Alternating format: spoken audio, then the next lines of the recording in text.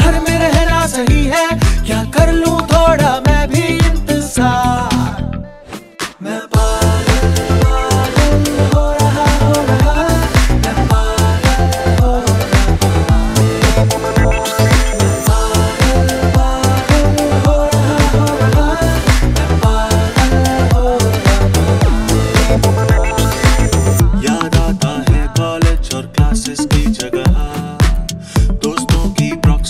जब मैं पकड़ा गया।